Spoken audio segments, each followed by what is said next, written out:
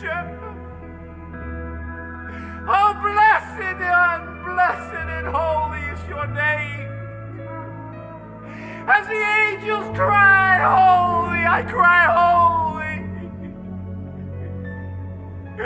Oh, hallelujah. Hallelujah.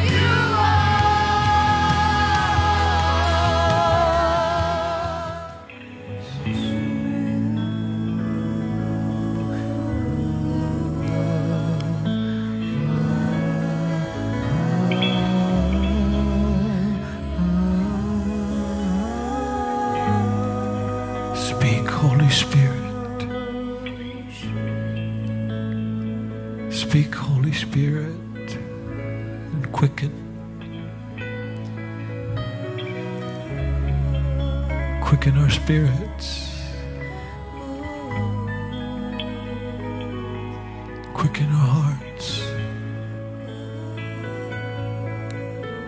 even quicken our mortal bodies.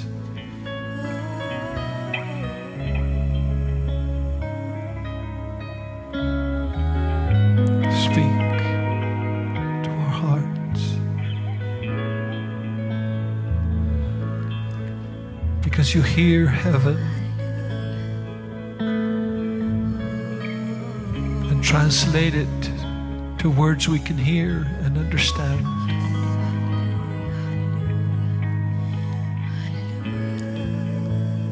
Words that we cannot hear.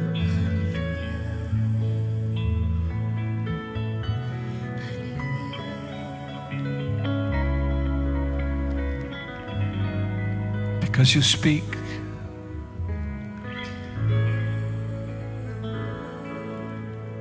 Speak the words of Elohim. Words that we cannot hear. But you are the one that hears the words of our Savior and makes it plain our deaf ears that cannot hear those sounds of heaven. Speak to every heart in its own language, to every life. The words they need to hear in the language they can understand.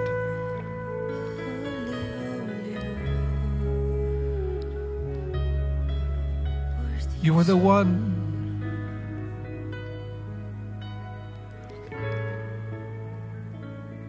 The divide the sound of heaven, of God Himself.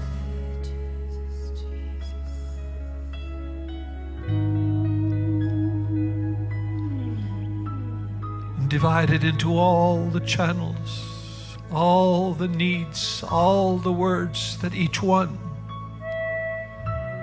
needs to listen, needs to hear.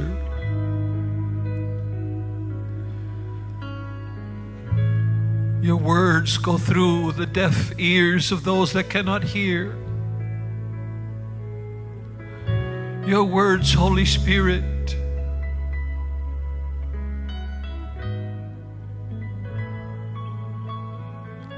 they resonate even into the heart of stone.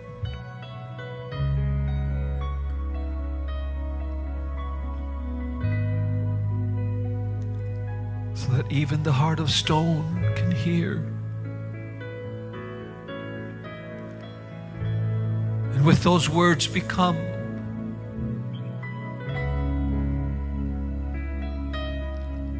a heart of flesh one word at a time.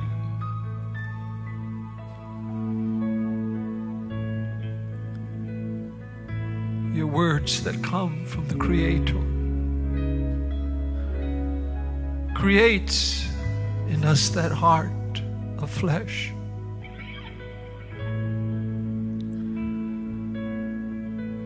That I so desire.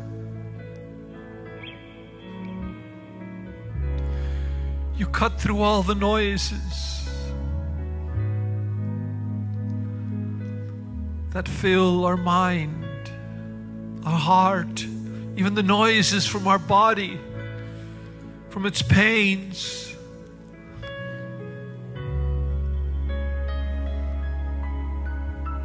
And you break through all that noise and you speak to each heart.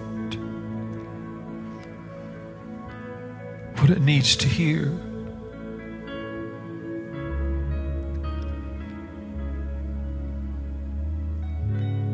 Speak, Lord. Your servants listen.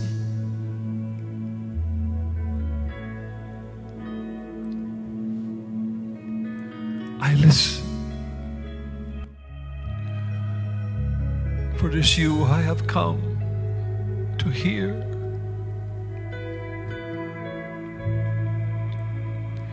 It is you I have come to meet. It is you I have come to draw near.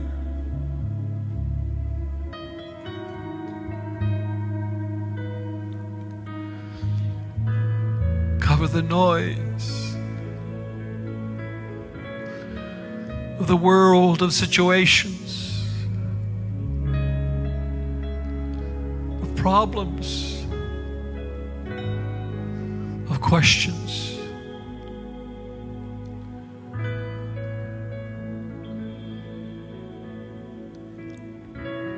Because your whisper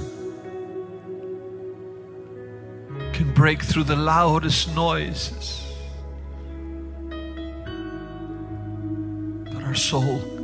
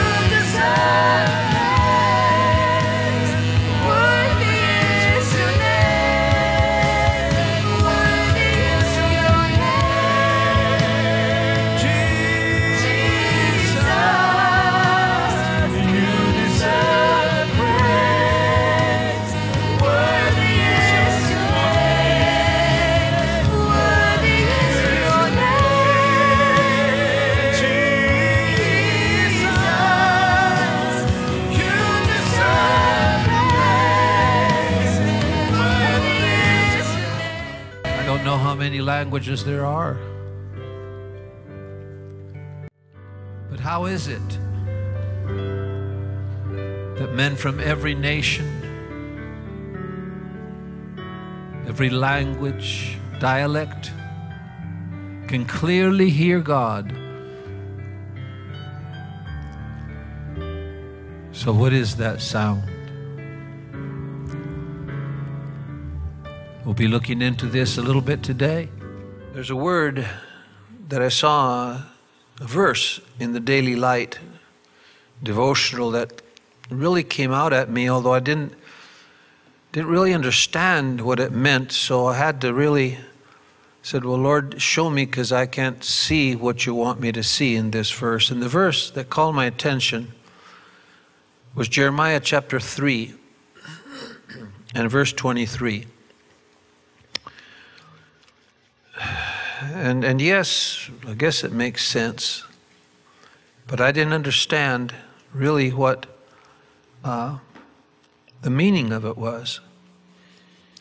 And this is a word that says, truly in vain is salvation hoped for from the hills and from the multitude of mountains. Truly in God, in, in the Lord our God, is the salvation of Israel. And I went over and over and looked in different translations. What? And uh, then the next, he says, certainly vanity are the hills and the multitude of the mountains. And the Lord our God is the health of Israel. And even though I want to read you now that same verse in Spanish. Ciertamente, vanidad son los callados, la multitud de los montes. Ciertamente en Jehová nuestro Dios está la salud de Israel. Even though we speak English here in church, you probably noticed that in our service sometimes we speak in Spanish, we sing in Spanish, we pray in Spanish, we pray in English. And most times you'll hear voices in the background, which are God giving helps that are translating for those sometimes that are visiting us that do not understand English, and sometimes even for YouTube video. But did you know that in Jesus' times, in the synagogues, they were also translating the services? Yep.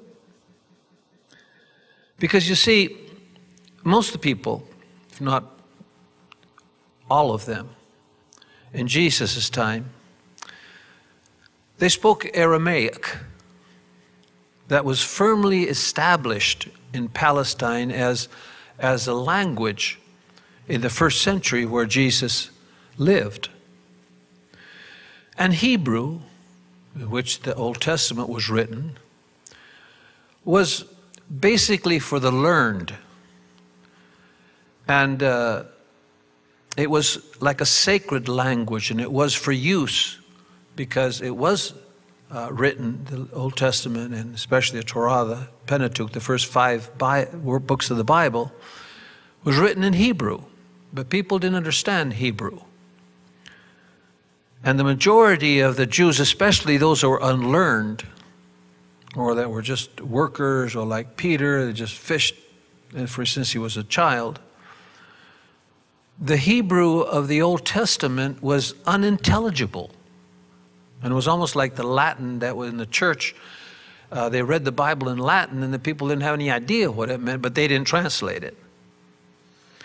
And when the scripture was read aloud in the synagogue, it was translated by what was called a meturgeon or a professional interpreter. Therefore, the name, the last part, Targum or Targumer. He was a translator to people to be able to hear and understand. And it, the, they paraphrased it some paraphrased it sometimes or just gave them the general gist of the scripture that they might not understand it just reading it out like that. So, well, this is what it actually saying. Or give them the interpretation of that Hebrew scripture.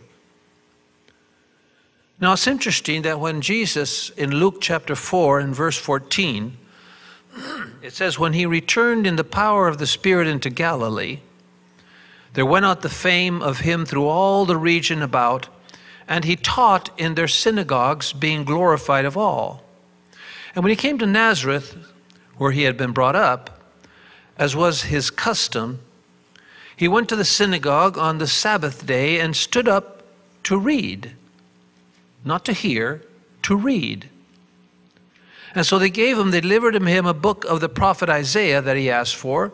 And when he opened the book, he found the place where it was written. He literally, literally they unrolled the book because the books were written on parchments or vellum, which is uh, the skin of animals. Now, here it really jumped out at me because we've been speaking uh, in, in, the, in the, uh, at Easter about the skin of Jesus, who is the Word. I said, wow. So the Word was written on the skin of lambs, of sheep,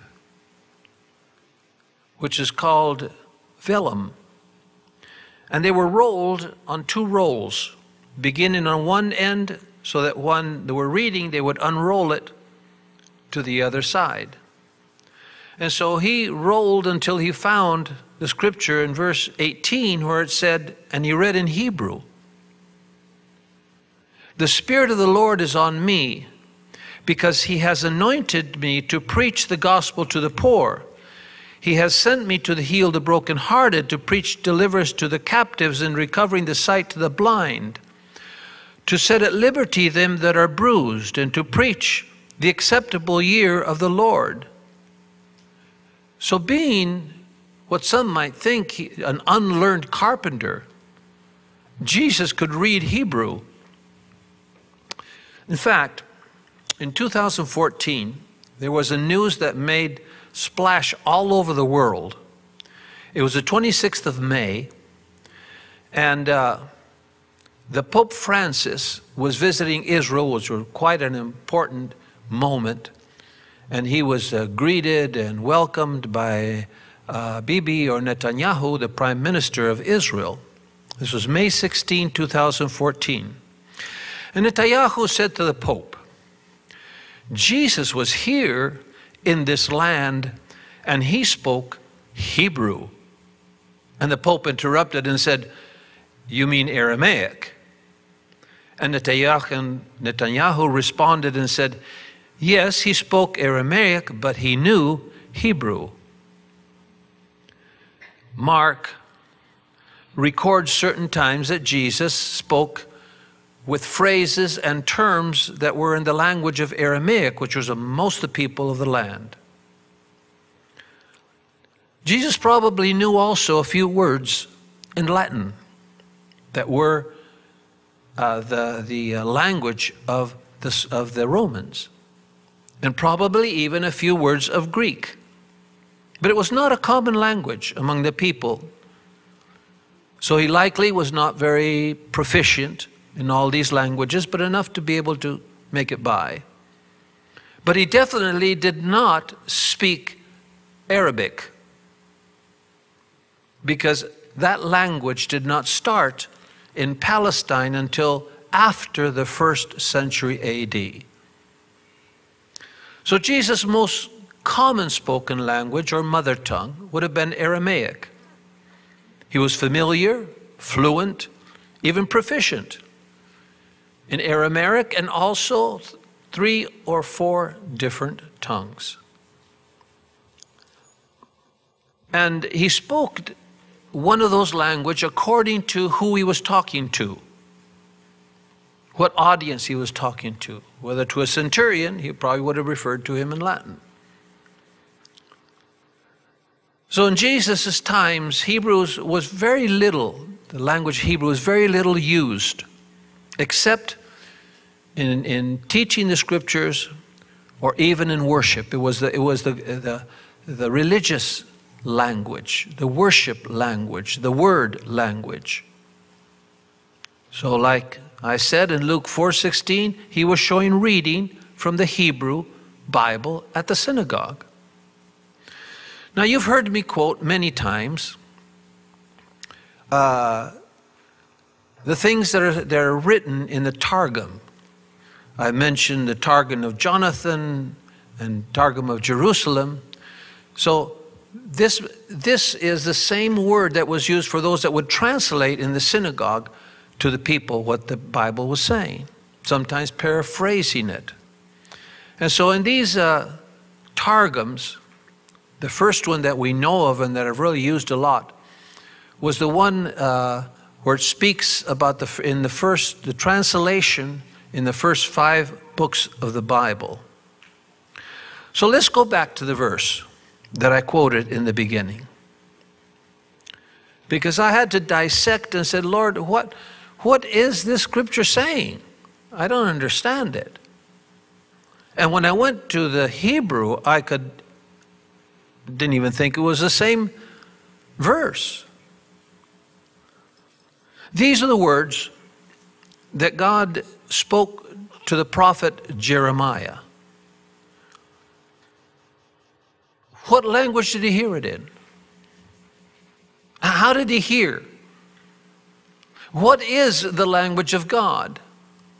In Argentina, they say in heaven they all speak in Spanish. Here in the States, everyone eh, in heaven, everyone speaks English. When I go among the Chinese, they say, no. In heaven, they speak in Chinese. Maybe they even think God is Chinese. I don't blame them because in Argentina, when they hear God speak through His Spirit, it, it's in Spanish. And here in the States, we hear in English. And the Chinese, they say, No, John, I don't hear him in English. I wouldn't understand him. I don't hear him in Spanish. I can't understand Spanish either. God speaks in Chinese. And yet it's the same word. So, what did the prophet hear? Did he hear a language? Did he hear words in his mind? Now, I know I personally heard what I thought was, was, was a live voice speaking to me in English when God called me and I was 16 years of age. I didn't know anything about listening or hearing God. And to me, it was perfectly audible in English. So the prophet was hearing God's living thoughts, not a language, not words, but sounds, thoughts. If we can even say sounds, because sounds work here on earth where we have air to transmit the waves. But what is his voice? But he did hear. He heard the voice that he would recognize as the voice of God or Jehovah speaking to him. And that sound that came to him, that living word, was made somehow inside of him, made into know what it was saying, and, and he put it into Hebrew words, translated into that. So God's thoughts that are heard, whatever those thoughts might be, or whatever sound that might be, God is spirit. So it must be something totally out of our realm of what God's voice is if it even is a voice. God's thoughts are heard, and then they're interpreted inside of our mind so we can lay hold of what, if not just a noise, a feeling, a moving, a, a, a tingling, or I don't know. Many of those things accompany when God speaks. Some people have a feeling, some people have a twitching, some people. Uh, that sound produces something inside that's different than when you're hungry and where when your body's telling you something or when somebody else is talking to you just something about that that makes you say and the more you're sensitive to it the more you're aware that hey there's something here like when i saw that verse i said god's speaking but i don't know what on earth he's saying through this scripture so our mind grasps it and, and, and sort of makes sense of what he's saying. But how inadequate words are to try to grasp something so huge as God's thoughts.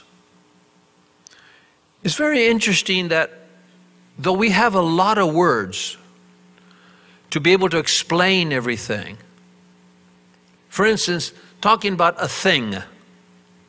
This is a thing, that's a thing, that's a thing, an object. or our stuff or our physical. Do you know that, that there's no Hebrew word for those things? When you look in, in the biblical Bible, Hebrew Bible, there's no, no such word for a thing, for an object, for some stuff, for physical, for everything is called one word that's used for everything. If you want to speak about molecules or whatever you want, is davar. And davar means word. Word. This is word. That's word.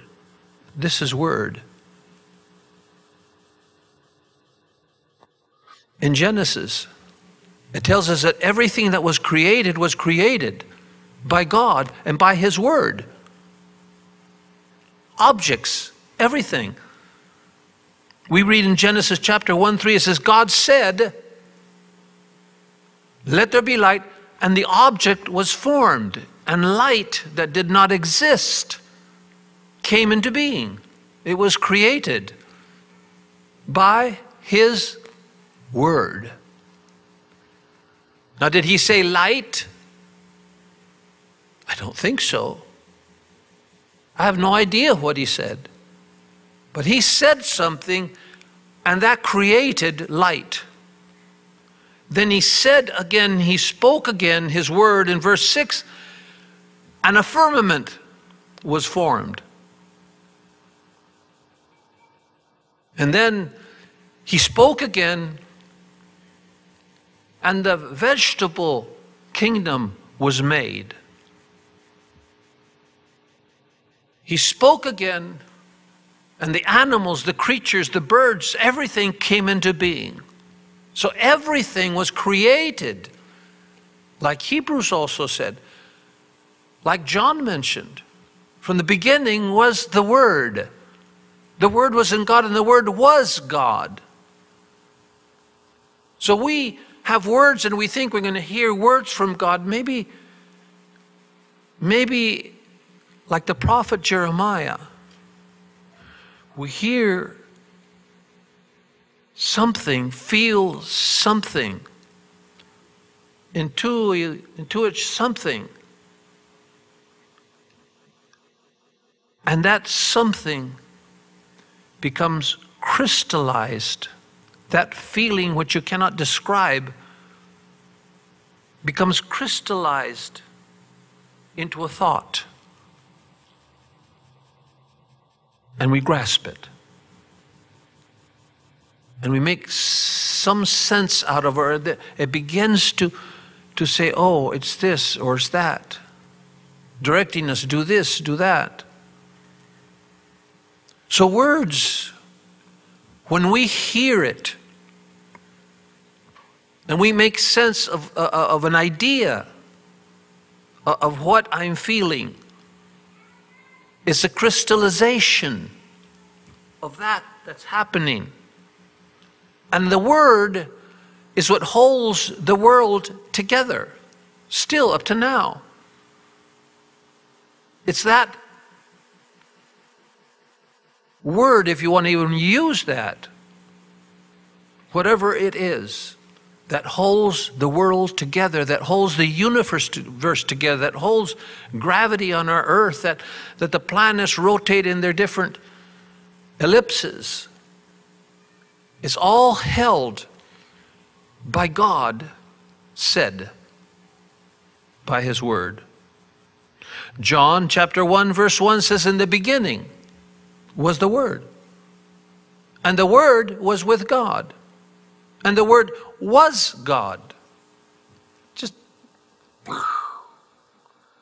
it doesn't make sense.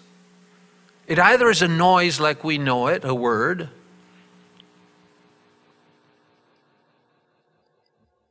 but the Word was, and it was with God, but it was God.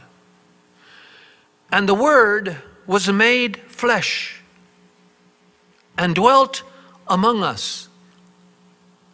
And we beheld his glory as of the only begotten of the Father, full of grace and truth. The only begotten was also the Word.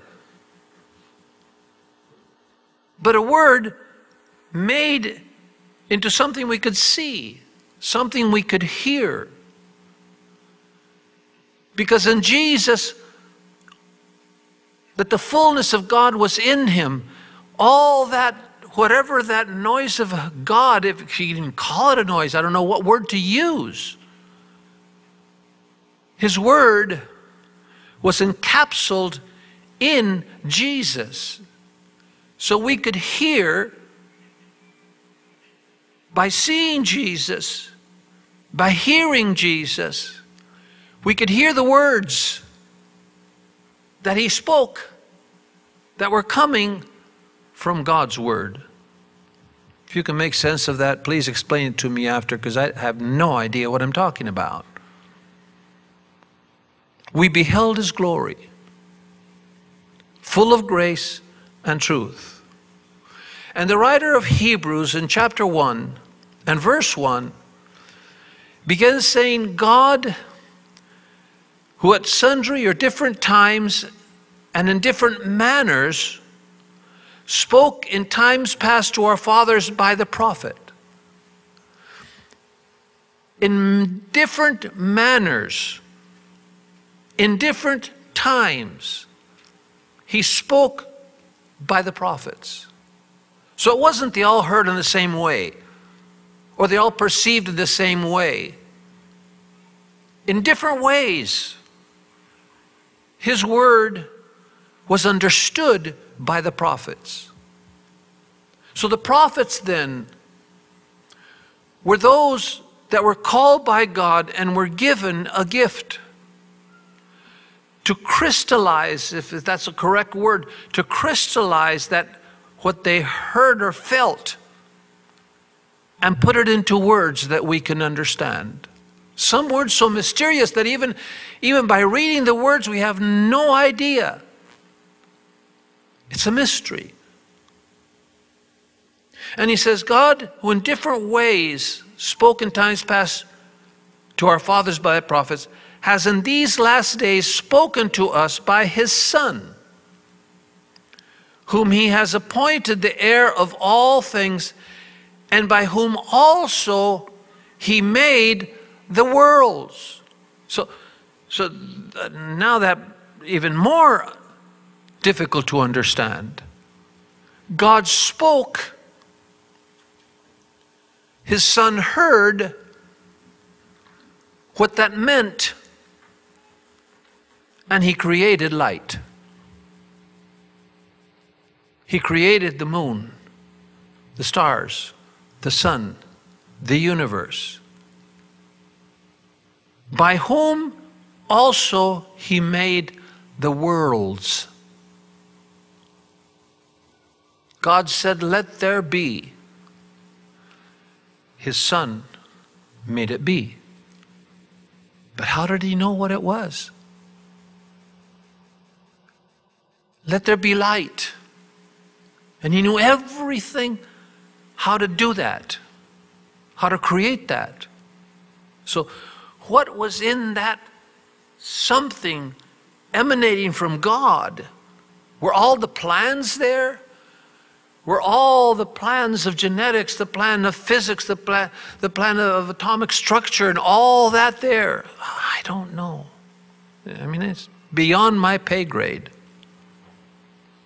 So, in what language does Jesus speak to the church? He doesn't speak a language, he speaks Davar. He is Davar. He is the Word that encompasses everything everything that we might need to know, to hear, even instructions of how to do things. Not just do this. I don't know how to do this. But then, oh, Eureka! I know how to make this. I mean, that's happened to me many times.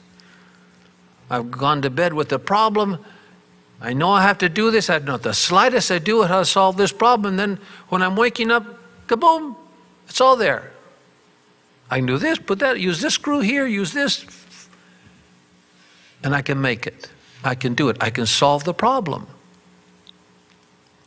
So if we listen carefully, as the prophets, tuning out, first of all, tuning out our noise. We make a lot of noise. I'm not talking about when you ate some things that come out the wrong way, making noise. I'm talking about there's so much noises inside of us and around us.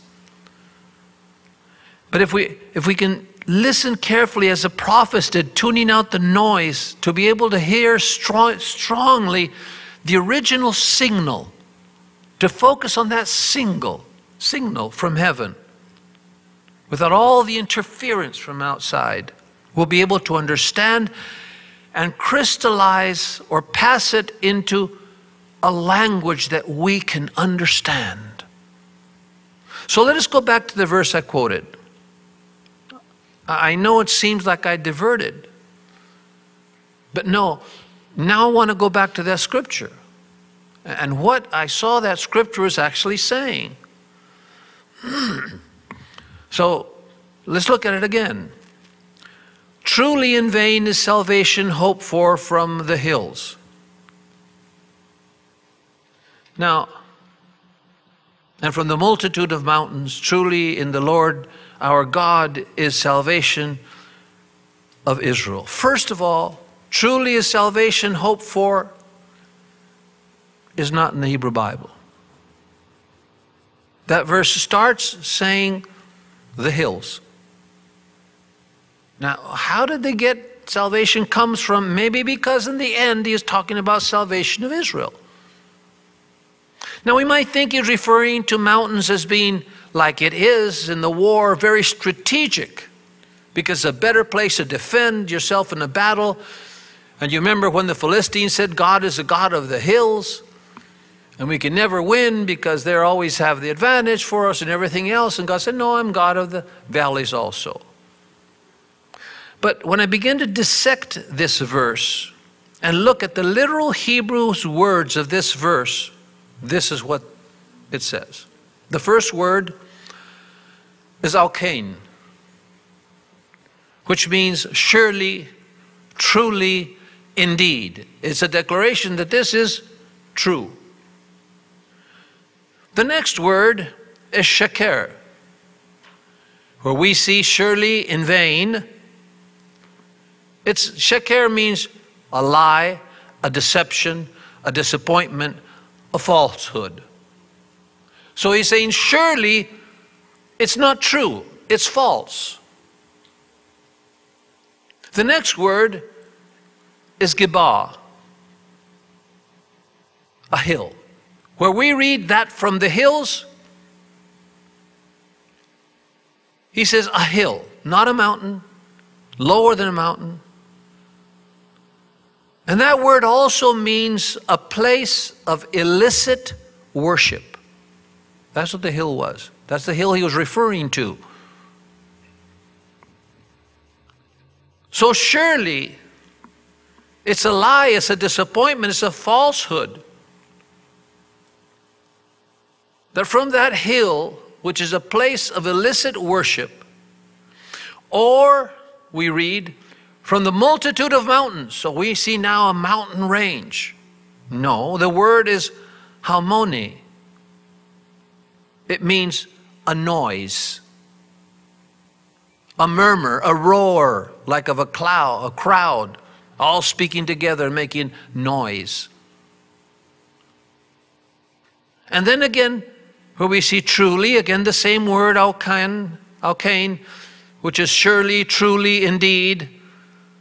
In the Lord our God, no, no. In the Lord, the word Lord is Jehovah. And then it says our God is not Jehovah, it's Elohim.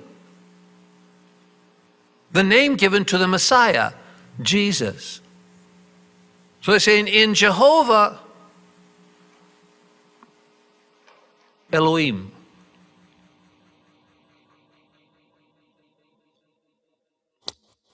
And where it says the Lord our God is salvation, the word is Teshoah, which means salvation, deliverance, victory, and rescue.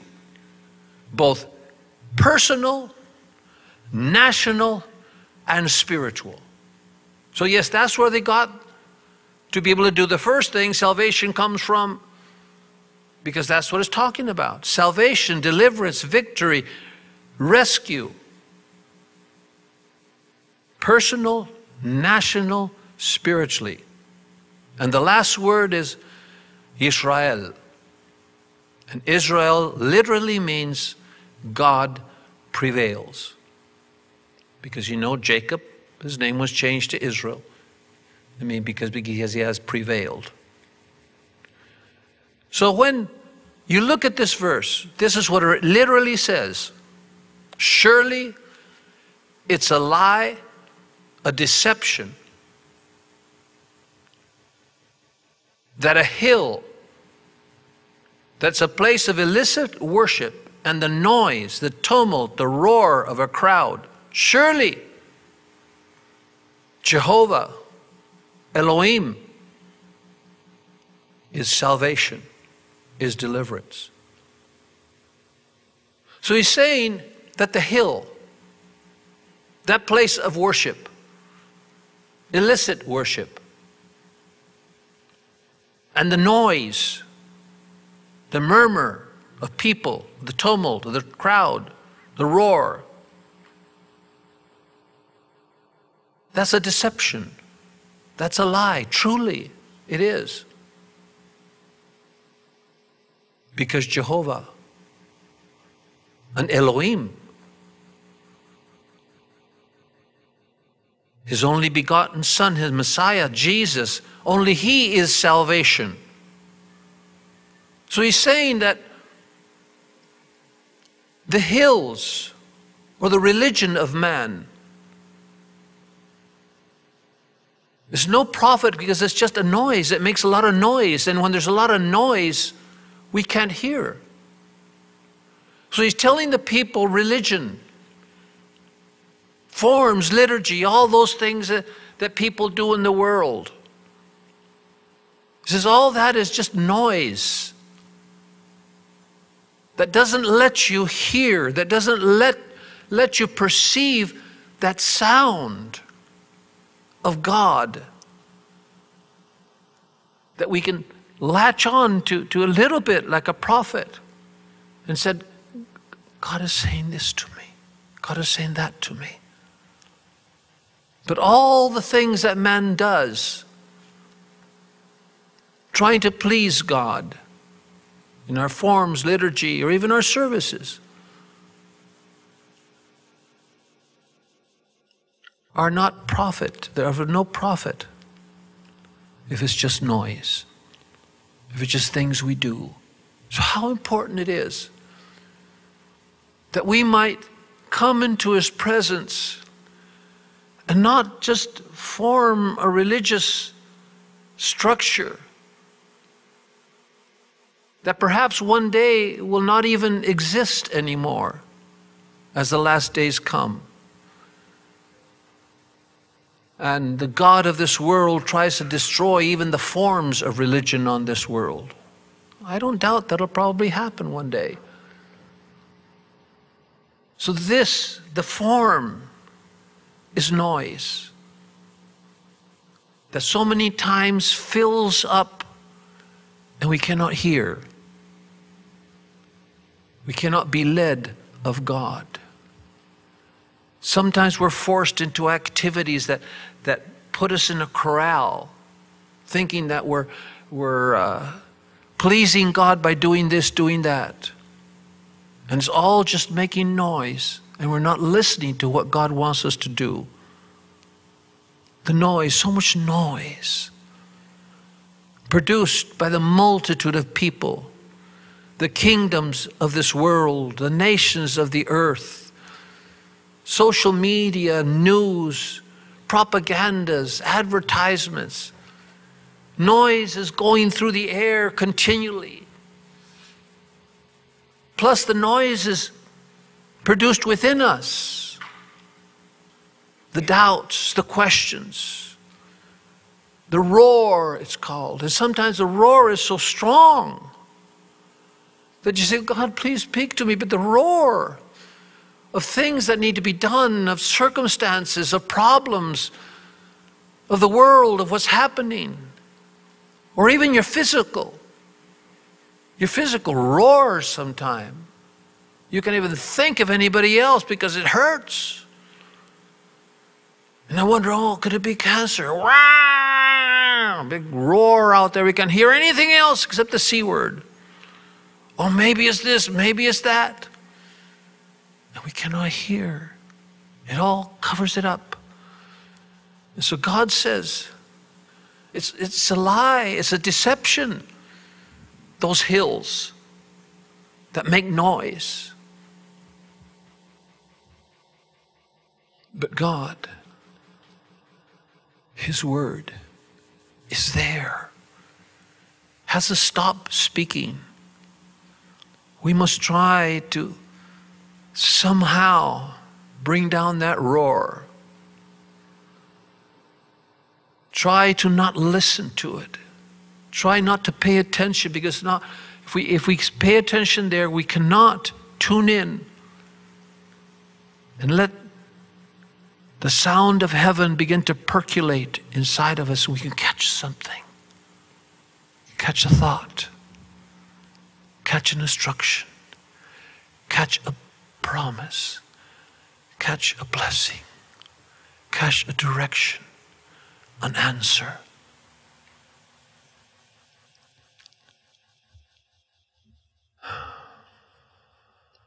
And he says, all this noise,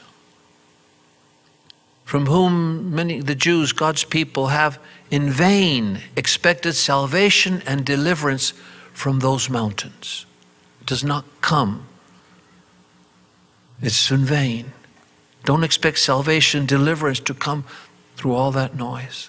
Shout out, shut out, I'm sorry, all the noise and all the static until you be still and know that I am God.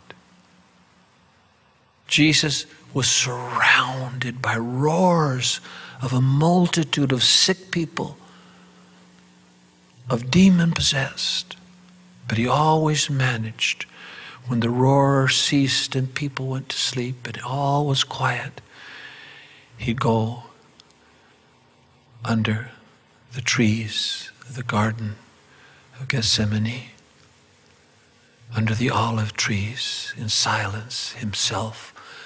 The roar subsided and he was alone with God.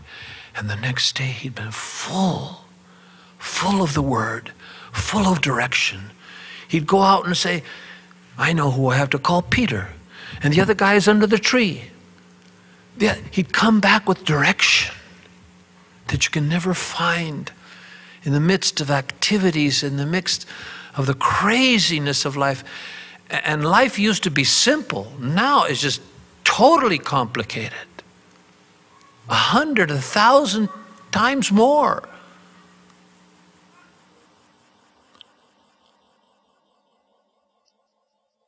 So we can hear the word that was in the beginning and was made flesh so we can hear the sound that Jesus is speaking even in heaven. And as I prayed today, the Holy Spirit is the one that takes that heavenly word and makes it into things that we can hear.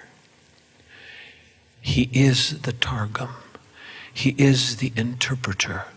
He is the one that during the service, he hears. He said, What he hears, he will tell you. What Jesus has said, his words, he will make them known to you. He will remind you of them. So he is the one that's with us, that's in us, that gives us those words in a way that we can understand it. Not in a foreign language, but in a word You'll hear a voice behind you saying, Go this way, go that way, do this, do that. It's the Holy Spirit that's the heavenly Targum that to these unintelligent creatures, He is the one that interprets the reading of a Bible in a language we cannot understand.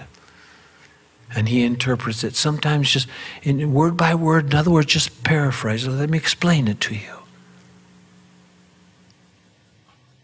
Only then, in every circumstance of life, will be able to help the rescue, the help, and only then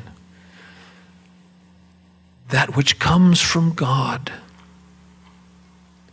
and the Holy Spirit puts it into words that we can understand, maybe not even words, thoughts that we can grasp. Only then, only then we can believe that it will happen. Only then, as is written in Hebrews chapter 11, verse 1, faith is a substance, something we can grab onto, literal Faith is a substance of things hoped for and the evidence of things not seen. And how can we have that tangible? Where God is intangible, untouchable, ununderstandable, uninterpretable? How can we? How can that become something tangible that we can grab and lay hold of, a substance of things that we cannot see. Paul tells us in Romans because 10:17 because faith that which what becomes a substance will come by hearing and hearing will come by the Word of God. When God speaks, we understand. The Holy Spirit speaks to us that we can believe what we've heard. Suddenly it becomes an object. Uh, several times in my life, I've, I've had that object in my hand. I can't explain it, but I know it's going to happen. It has to happen because it's real. It's real. It's tangible now. And that is by hearing. That word that comes from God that cannot return in void.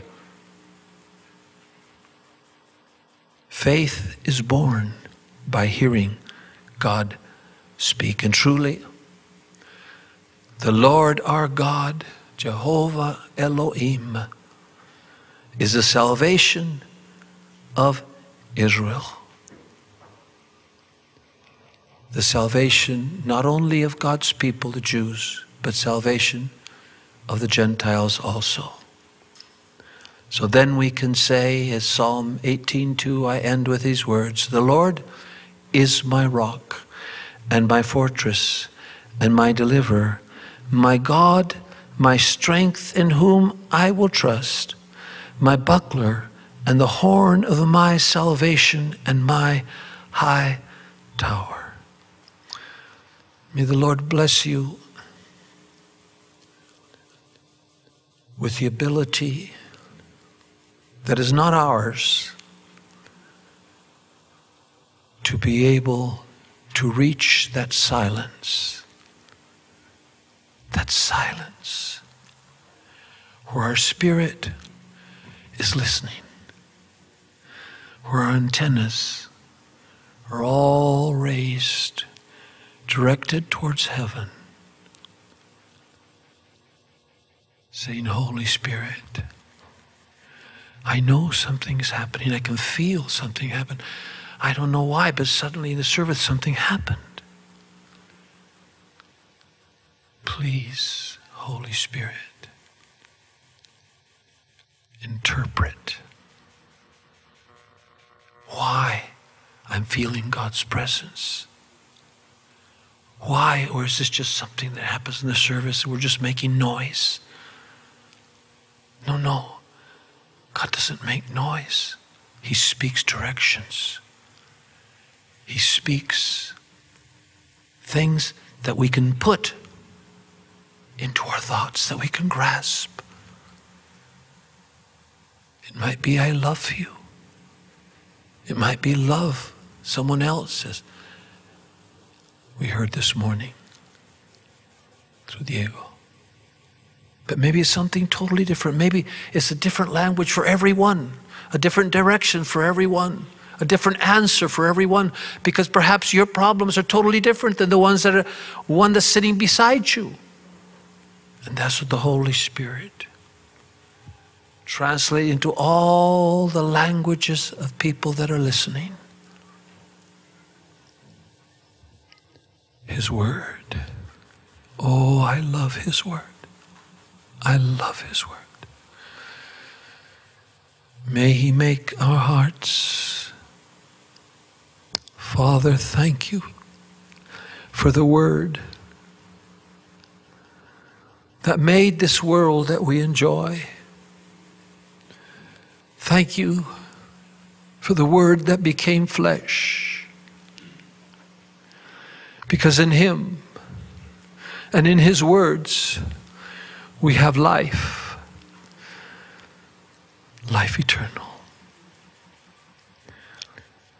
Open our eyes, open our ears, open our understanding, especially in these times, O oh Lord,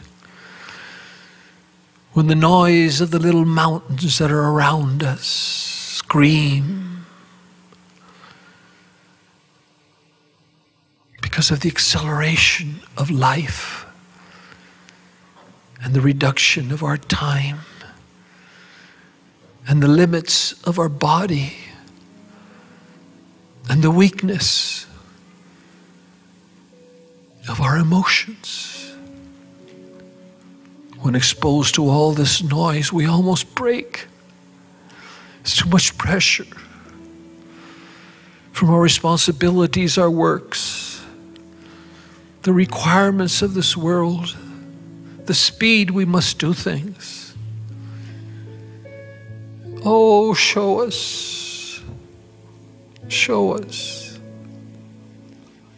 how to avoid the lies and disappointments of the hills. Show us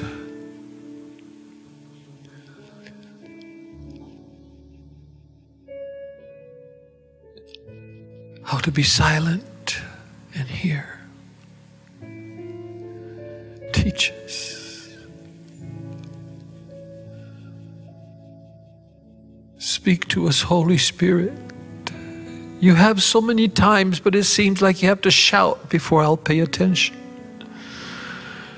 Or have to be in a problem or trouble or physical sickness or whatever in order to me to listen. Or a crisis. Show us how to discover that garden where you speak to man.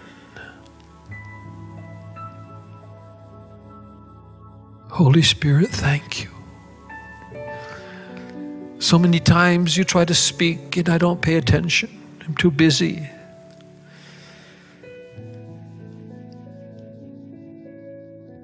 Help me.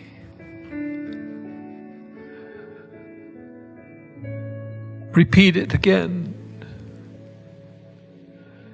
causes me to listen. Cause me to hear when you're speaking so I can pay attention. Speak to me any time in the day or in the night. I want to abide in that listening position all day, all night. Wake me up, jolt me.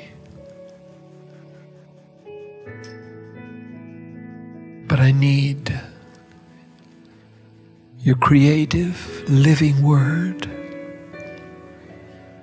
your directions, your inspiration. Speak, Lord, and your servant listens. Heal my inner ears that I might listen.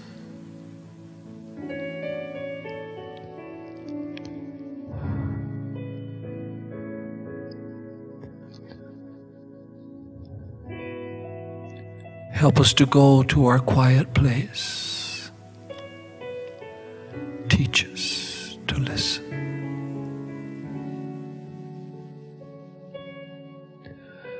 Thank you for your faithfulness in coming.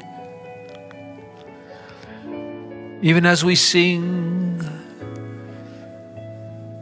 even as we pray, thank you for intervening.